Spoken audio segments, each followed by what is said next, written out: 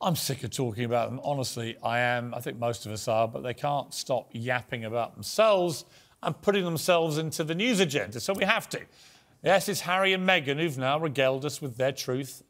So far in sycophantic interviews with Oprah Winfrey, with James Corden, with Stephen Colbert, they've bashed Britain in six hours of indulgent whining on Netflix. They've fronted podcasts on their self centered versions of history.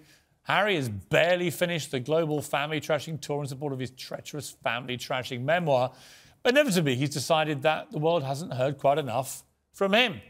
So Harry's latest wheeze is a live therapy session with Dr. Gabor Mate, a fated trauma expert, in which he reminded us again that he, Harry, is the world's biggest victim.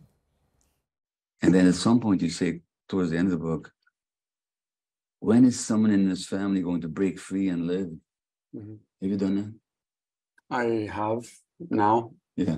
Um, what does it feel like? It was great. I do. I, I mean, once the book came out, I felt, I felt incredibly free.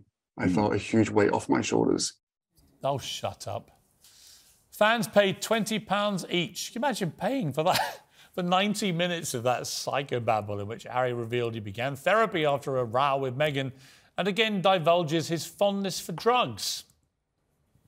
I started doing it recreationally, he says, and I started to realize how good it was for me. He's talking about psychedelic narcotics. I would say it's one of the more fundamental parts of my life that changed me and helped me deal with the traumas and pains of the past. Well, there's been an advert not taking drugs. It's old Harry, isn't it? US border agents take a dim view of drug use by non US citizens. Nigella Lawson was once banned from flying to America after admitting she'd taken cocaine. Another compelling reason why we don't want them at the King's coronation. We might end up being stuck with them for good.